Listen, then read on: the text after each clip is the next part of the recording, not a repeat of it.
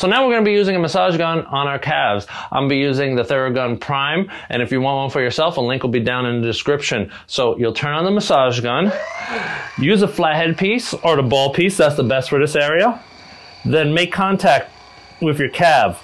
I start from the outside and move my way in, and I kind of cover that whole belly, get it in for about 20 to 25 seconds. This is a warm up.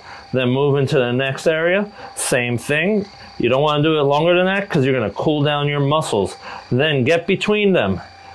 Work the area between them. And then when you're done with that, move into the other side. So same thing. I hold the gun.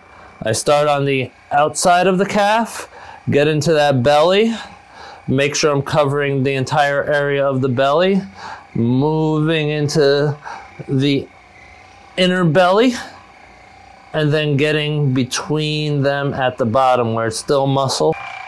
And then you'll just have used a massage gun for your calves.